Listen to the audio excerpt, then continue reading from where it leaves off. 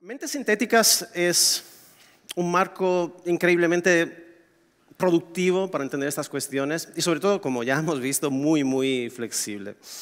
En, este eh, Open Lab ya lo estamos viendo, ¿no? con el amplio espectro de ideas evocadas por todos estos prototipos. Ayer las aportaciones de, Ed Keller eh, sobre el gesto, la, otras semióticas materiales, la mente cósmica en el seminario de noviembre, y la de Bogna Conior sobre una erótica de la inteligencia artificial han abierto fronteras realmente inimaginables.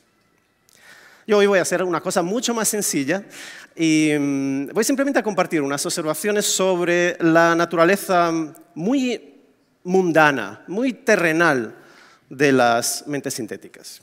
Y por cierto, lo que veremos hoy son una serie de observaciones que he ido recogiendo a lo largo de este laboratorio de prototipado. Eh, uno de los aspectos de las mentes sintéticas es precisamente la redistribución de esta cosa que estamos intentando definir como inteligencia y cómo todo esto está rediseñando precisamente el panorama del poder, el panorama del poder material. Para poder actuar en este panorama, y si acaso incluso resistir o diseñarlo de otra manera, necesitamos antes que nada saber a dónde mirar. Y después de haber intentado ver hacia dónde tenemos que mirar, pues ver, imaginar lo inimaginable y familiarizarnos con lo extraño. En una de las conversaciones que tuvimos, una de las muchas que tuvimos con, ah, en estas tres semanas con uno de los grupos, en una de esas conversaciones salió un tema, eh, el tema de la megafauna carismática. Aquellos animales que por sus dimensiones, por su presencia, de alguna manera atraen la fantasía humana. También hablamos de su opuesto, o sea, el grey goo o la plaga gris. Es decir, un escenario distópico, catastrófico, en el que unos nanobots autorreplicantes, totalmente fuera de control, eh, destruyen la biosfera, produciendo sin cesar réplica de sí, mismos y alimentándose de todos los materiales necesarios para la vida. De hecho, en el 2020 alguien dijo que el coronavirus sería para los seres humanos el primer ensayo de un Grey Goo planetario. Ahora, tanto, perdón, tanto la megafauna carismática como la muy poco carismática plaga gris, en realidad son solamente una pequeña, son dos pequeñas excusas para ayudarnos a pensar en algo que primero seduce, sublima, y luego acaba reventando completamente las escalas humanas. En um, American Technological Sublime, un libro de 1996, David Nye examina el atractivo de lo, que él define como lo sublime tecnológico. Y lo interpreta como una clave de la historia de, la nación, de los Estados Unidos, utilizando grandes ejemplos como los um, a lo largo del siglo XX. Nye sostiene que las grandes empresas infraestructurales en ese siglo desempeñaron un papel central en la formación del sentido de identidad de los propios estadounidenses desde los grandes sistemas de canalización del agua, el, viaje a la luna.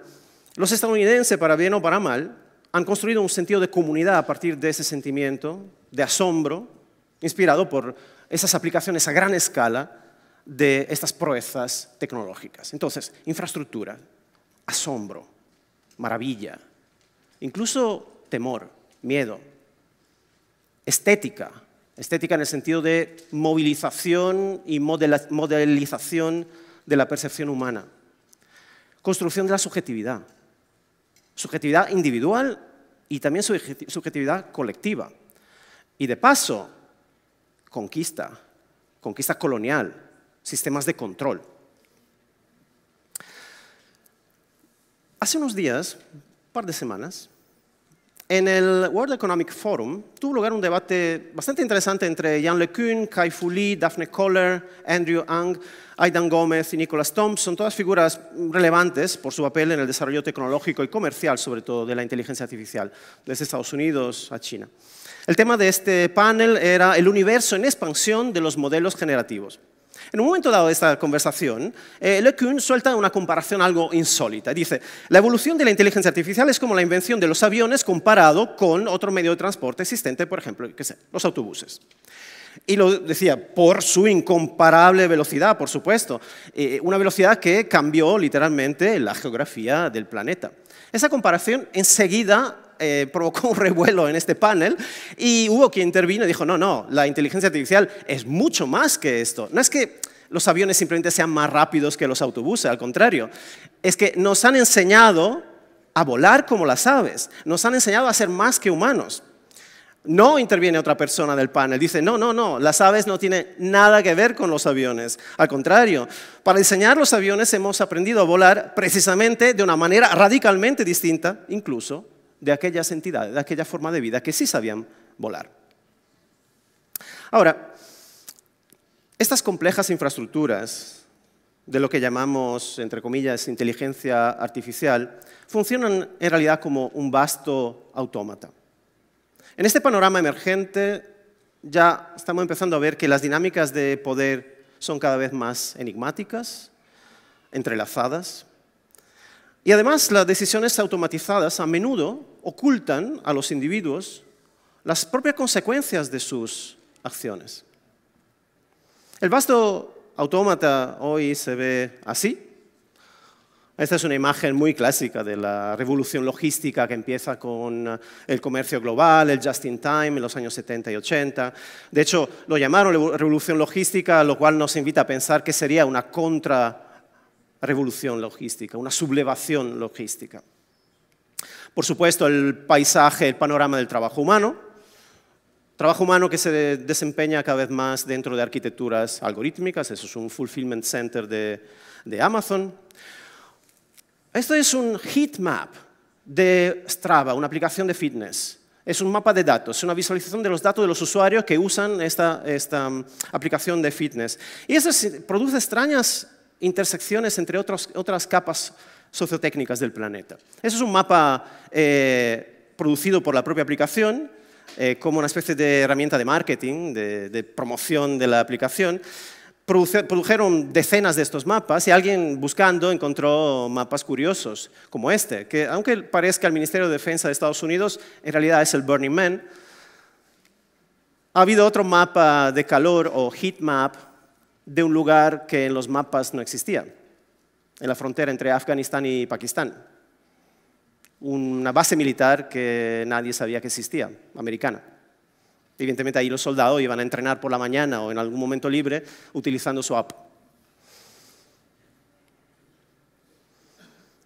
Otra forma que puede adquirir este vasto autómata, todos los sistemas de sensores, de mapeo, de intervención relacionado con la minería de las profundidades de los mares, que es un territorio ajeno a los humanos y es un territorio en disputa.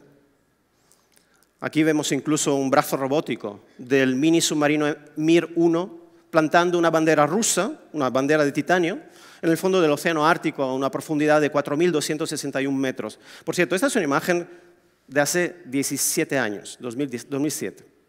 Lo que pasa es que el vasto autómata también eh, se ve así, Productos virtuales a la espera de compradores inexistentes, además con unos problemillas, como veis en el título. También la, descripción no la podéis leer, pero es muy divertida. El precio totalmente desfasado. pero no nos dejemos engañar por la apariencia ridícula e inconsistente de este ejemplo, porque las cosas pueden ser aún peores. Aquí vemos que la usuaria Ebesutini intentó decir algo, no le salió muy bien, pero inmediatamente unos usuarios muy eficientes, Gabis TSMS y luego Lucas, Lucas BM, hicieron, dejaron unos comentarios muy interesantes, muy enriquecedores por la, por la conversación. Ahora, la expresión vasto autómata aparece hace casi 200 años, precisamente en 1835, en The Philosophy of Manufactures, un estudio sobre las fábricas en Gran Bretaña, escrito por el químico y físico escocés Andrew Ure. Poco tiempo después de la publicación, Friedrich Engels pasa y recomienda este libro a nada menos que Karl Marx. Un vasto autómata compuesto de muchos órganos mecánicos e intelectuales que operan concertada e, e ininterrumpidamente para producir un mismo objeto estando subordinados todos esos órganos a una fuerza motriz que se mueve por sí misma. Yo me pregunto si esta noción de hace 200 años nos puede ayudar a comprender algo de las mentes sintéticas de hoy. Ahora, una breve digresión filosófica. En cierto sentido, esta noción eh, de 1835 abre un debate interesante que llega, de hecho, hasta el día de hoy. El informe de Ure se puede considerar afín al trabajo de Charles Babbage, uno de los padres de la computación. No solamente se opone a la idea de que las máquinas puedan llegar a ser un instrumento de explotación, esto no le interesa, sino que plantea una especie de túnel tecnológico en que las máquinas van mejorándose a sí mismas y acabarán acabarán generando nuevas máquinas plasmando, como resultado obvio e inevitable, la misma organización social.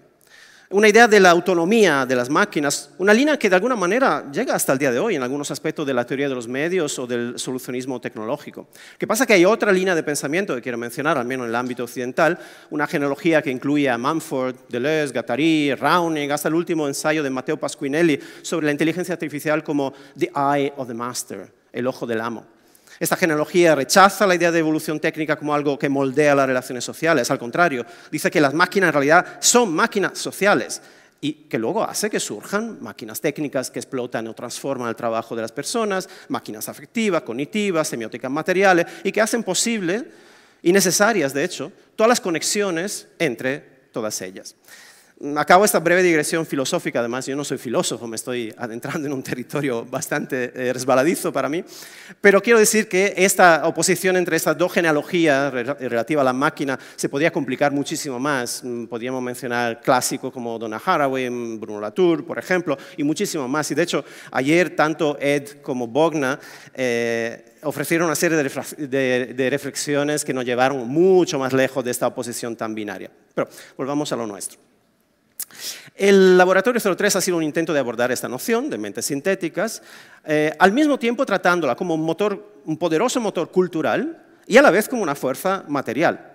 Es decir, el emerger de estas mentes sintéticas nos ayuda, por un lado, a visualizar diferentes estructuras de poder y nuevas geografías, y a la vez, recursivamente, genera y modifica esas estructuras de poder. Las mentes sintéticas están generando también una sensibilidad hacia inteligencia alternativas, cuestionan la misma noción de inteligencia según el proyecto humanista, como hemos escuchado muchas veces hoy. Las mentes sintéticas nos obligan a preguntarnos qué presentes alternativos y adyacentes no estamos observando. Dos reflexiones que han surgido durante este laboratorio Lab 03. Una, cuando hablamos de inteligencia artificial, en lugar de imaginar una evolución lineal cambios uniformes, generalizados. Quizás valdría la pena cambiar de actitud y ver cómo la gobernanza por estos modelos y sistemas autónomos, entre comillas, se vean influenciadas en realidad, por las condiciones sociales, laborales, culturales en diferentes países, industrias y hasta cosmotécnicas. Dos, segunda reflexión. El miedo ampliamente anunciado hacia la automatización, en realidad, al menos en parte, es una forma de distracción de la atención del estancamiento económico, de la geopolítica de las materias primas, de las condiciones precarias de las trabajadoras y trabajadores. Una cosa ha quedado clara en este lab, seguramente. Si imaginamos la computación solo como una infraestructura de optimización, pues nuestro imaginario de futuro, nuestras posibilidades de diseñarlo, de, de entrelazarnos con la vida en este planeta, pues serán más bien limitadas y pobres. Es obvio que la optimización puede suponer intenciones muy diferentes, puede servir para multiplicar la capacidad de observar, de comprender, por ejemplo, en diagnósticos médicos. Puede ayudar a materializar posibilidades, como en el estudio de los modelos climáticos. Es una oportunidad para descentralizar la agencia y la inteligencia distribuyéndolas entre distintos stakeholders. Algo ciertamente fascinante y potencialmente revolucionario, que sin embargo, a veces, también significa una creciente precariedad de las poblaciones humanas y no solamente humanas. Ayer lo hemos visto claramente. Mentes sintéticas es una manera de hablar también de crisis de diseños anteriores. crisis de modelos democráticos, de cierto modelo productivo, modelos educativos, modelos psicológicos humanos, uso del lenguaje, uso de las narraciones que se construyen para dar sentido a lo que está sucediendo y buscar alternativas, por ejemplo, más justas. He intentado afrontar algunos de estos temas en el podcast, que ha sido mi contribución a este laboratorio 03. Aquí veis el primer episodio. El primer episodio fue una conversación con Ana Engelhardt, una de las residentes eh, de largo plazo del laboratorio 03, sobre una idea de terror infraestructural o infrastructural horror y la relación entre la construcción de narraciones sintéticas y una investigación contraforense muy basada en hechos concretos para hablar, por ejemplo, de cuestiones de imperialismo y de guerra. Segundo episodio sobre Technocapitalist Singularities o singularidades tecnocapitalistas con Bajar Norizade, sobre ciudades, modelos económicos como mentes sintéticas, capaces de torcer el espacio y viajar en el tiempo. Episodio número 3, sobre verdades estadísticas, una genealogía con Vladan Joller, que está aquí hoy con nosotros y, de aquí a unos minutos hablará sobre sus trabajos.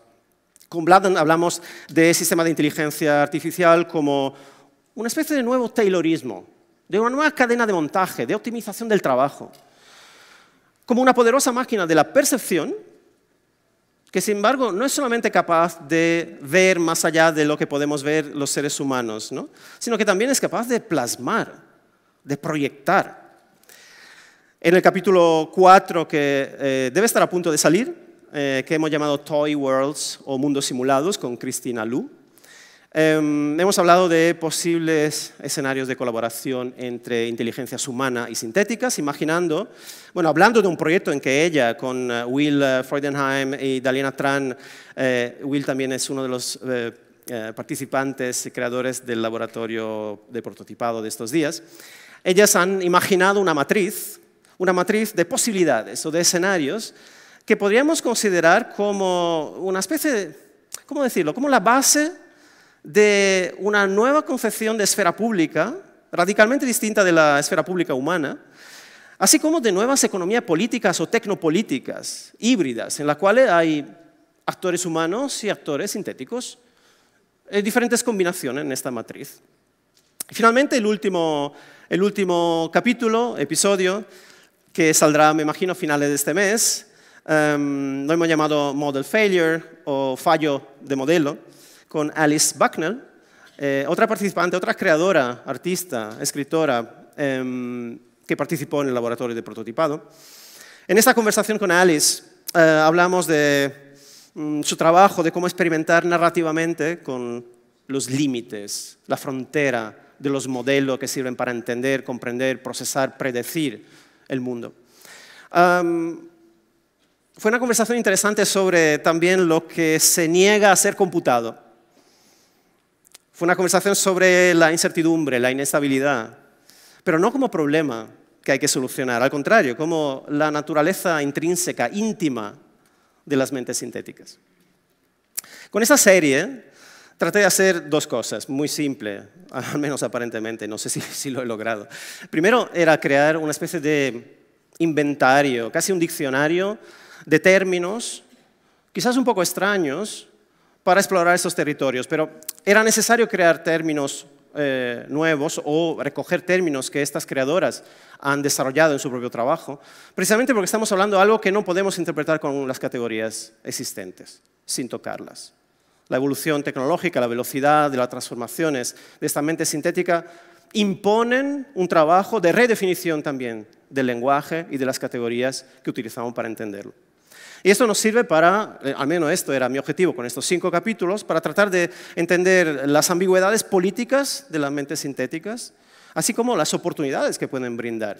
Quizás esta es una visión un poco mundana, como decía al principio, de la mente sintética, que creo que puede complementar bastante otras visiones mucho más ambiciosas, como son las que Ed Keller y Bogna Conyor han compartido con nosotros. Ese era como el primer objetivo, dar una idea de eh, estas ambigüedades políticas y oportunidades.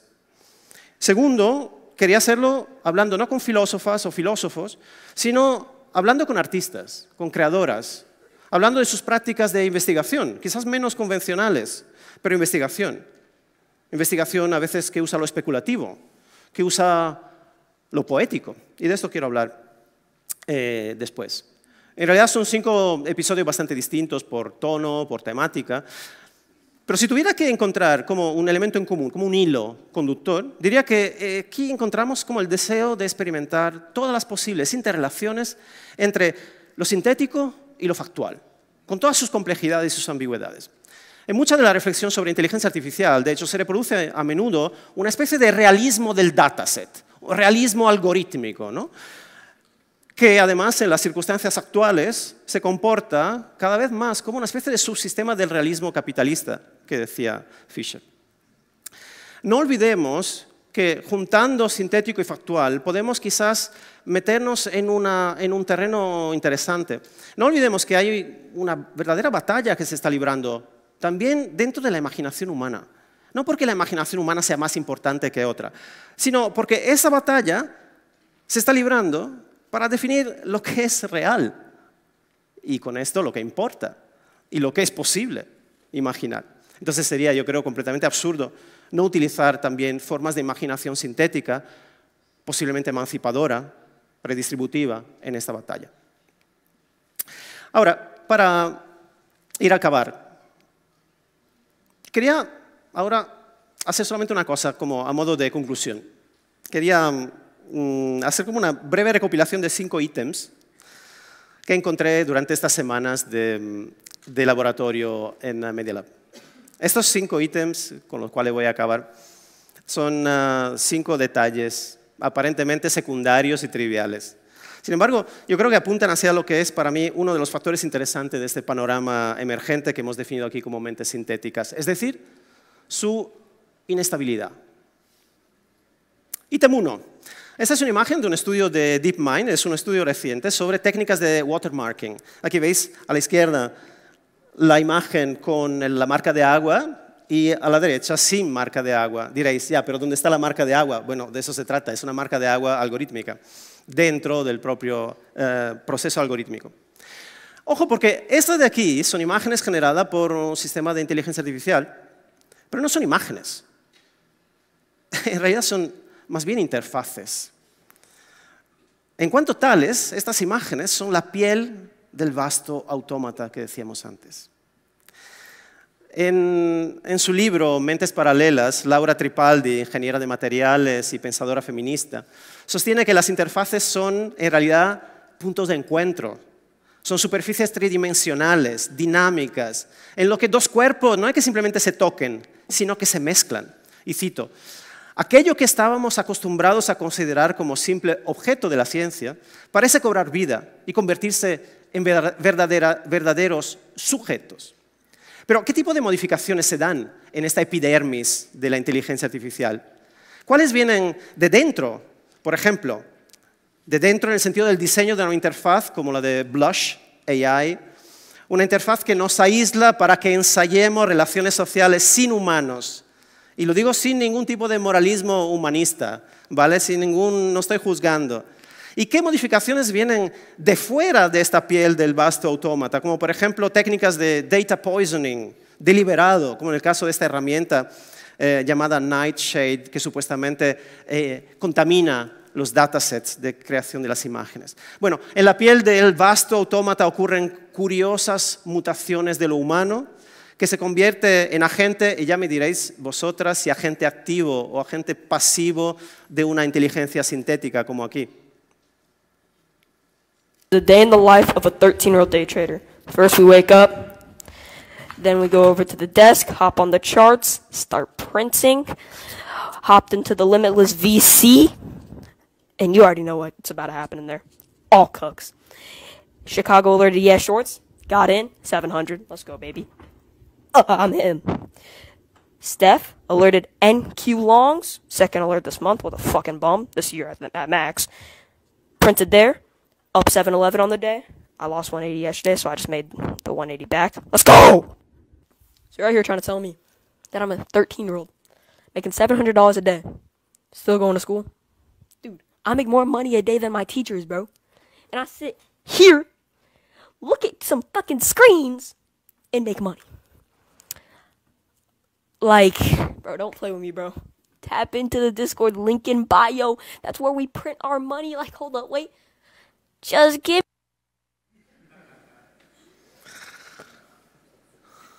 Nada de, de juzgar moralmente. ¿eh? Hablando de relaciones íntimas con la, inteligencia artificial, este segundo ítem es una captura de un subreddit dedicado a réplica, de hecho Bogna ayer habló de réplica, un chatbot de conversación que se hizo además muy popular en la época de los confinamientos. Aquí la noticia es que esta nueva versión de réplica incluiría el historial, el historial de todas las versiones anteriores abierto para todos los usuarios. La noticia generó entusiasmo entre los usuarios, pero exactamente ¿por qué? Bueno, yo creo que porque de alguna manera ofrecía una alternativa a la cuestión así de la así llamada encapsulación o encapsulation de los grandes modelos lingüísticos o de, la, de otra naturaleza. Es decir, cuando sale una nueva versión, la nueva se come las versiones anteriores, que dejan de ser funcionales. Es como una especie de auto, auto canibalismo, ¿no? Se come todo el dataset, se come todos los algoritmos de las versiones anteriores. Desaparece un mundo. Eh, ahora, pensad en otro caso muy evidente, el caso de eh, DALI 3, ¿no? en que los prompts de los usuarios, eh, los usuarios humanos, me refiero, son regenerados automáticamente a través de ChatGPT 4 sin que el usuario se dé cuenta, supuestamente para mejorar el prompt engineering de los usuarios. Cuando DALI 2, donde esto todavía es posible, desaparecerá, pues se habrá perdido la memoria de una alternativa, de un mundo alternativo. Este solo es un ejemplo muy, muy sencillo de lo que tentativamente podríamos llamar como torsiones temporales y podríamos incluso ir mucho más allá si la memoria es una acción colectiva que pasa cuando un modelo primero absorbe y luego olvida. Hay quien sostiene que la, inteligencia artificial es una, sí, es una amenaza existencial, pero en primer lugar hacia sí misma, precisamente por este riesgo de canibalismo o de modelo fagia de la inteligencia artificial. Tercer ítem, LOAB. LOAB es esta figura monstruosa.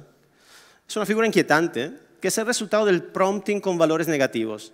O sea, meter eh, unos prompts diciendo que no se parezca a la tal cosa. Entonces es una especie de exploración del espacio latente, no es nada nuevo, son las que se suelen llamar las eh, alucinaciones de la inteligencia artificial. Em, la inteligencia artificial usa reconocimiento de patrones como herramientas de reducción del margen de error. ¿no? Em, aquí lo vemos en un trabajo de Vladan Jorel. Se rechaza lo que se identifica como anómalo en varios momentos del proceso de formación de los modelos. Los modelos responden a este deseo muy humano y de hecho muy masculino de controlar el entorno, reduciendo la incertidumbre y la variabilidad. Ahora, deberíamos habitar ese espacio latente. Se podría imaginar una etnografía del subsuelo estadístico. Y esta es una manera de observar las anomalías y creo que también deberíamos cuidarlas, hacer una especie de supresión inversa. Y esto creo que es muy importante en la coyuntura actual, en las que múltiples crisis se solapan y que nos muestra algo que ya deberíamos saber. La anomalía es la norma, la irregularidad es la norma, es el estado de algo que se niega a ser procesado. Y el colapso de un modelo no es necesariamente su fin, sino un estado precisamente con el que hay que aprender a lidiar. Cuarto y penúltimo ítem, GPS spoofing, la falsificación de coordenadas GPS de un dispositivo traqueado. Es un ejemplo muy controversial porque hoy en día es una técnica utilizada por el poder para no dejar rastros de sus operaciones ilegales. Ese es un ejemplo extremo de cómo la inteligencia infraestructural es capaz de imaginar lo que no está aquí y materializarlo de alguna manera. Atención porque los seres humanos eh, están dotados de esta capacidad de imaginar algo que no está aquí. De hecho, el famoso semiólogo Humberto Eco decía que la semiótica es precisamente la ciencia que estudia la capacidad de mentir. La mente humana planifica, anticipa, crea abstracción, imagina, ficción. El gesto poético, ya lo sabemos, tuerce el uso funcional de la lengua y o del cuerpo. El lenguaje, como decía Barrocks, es un virus, un agente tóxico que desestabiliza el cuerpo-mente humano, un parásito que ya no se puede separar del organismo. Lo que pasa es que la mente infraestructural es capaz de hacer esto también, lo haces con los modelos, se salta el espacio y el tiempo. Entonces aquí yo me estaba pensando que podríamos imaginar una inteligencia poética, un término tentativo para identificar patrones no funcionales de subjetividades no del todo humanas emergentes. E imaginar gestos que puedan tener consecuencias estéticas y políticas y que se puedan convertir incluso en inteligencia táctica.